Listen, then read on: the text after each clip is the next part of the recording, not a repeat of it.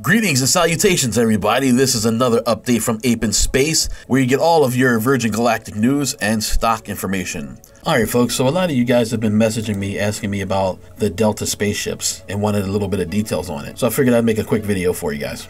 At this point, the design work is already done, and vehicle production is targeted to commence in 2023. So we're very close to those things rolling off the line. So a company named Bell, which is a subsidiary of Textron Inc., with more than 85 years of manufacturing experience in the aviation industry, will supply the unique feathering system and flight control surfaces. Qarbon Aerospace, known for its expertise in constructing large complex composite parts for aerospace and aviation, will produce the fuselage and wing. The companies were selected following the competitive RFP process based on their ability to meet Virgin Galactic's unique design and fabrication requirements. Virgin Galactic will continue to be responsible for the overall system architecture, design authority for all components, and the final assembly integration, checkout, and acceptance testing for the vehicles.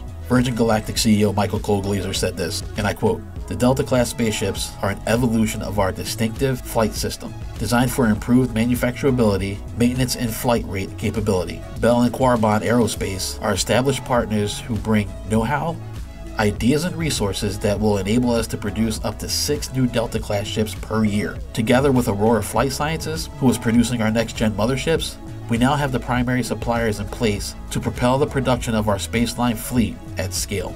End quote. Folks, this is the path to profitability.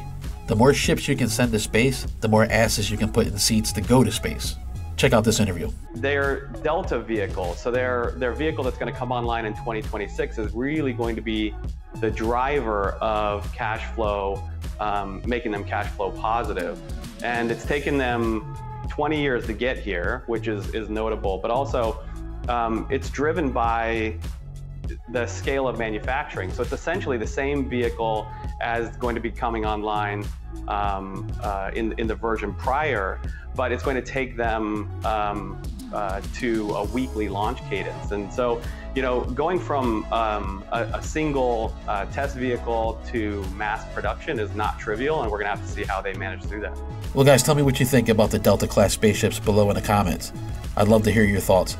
And remember, any other questions you can ask me right here in the comments or send it to the email attached to the channel, apeinspace at gmail.com. That'll be your update for today. Make sure you guys like, subscribe, and click that notification bell.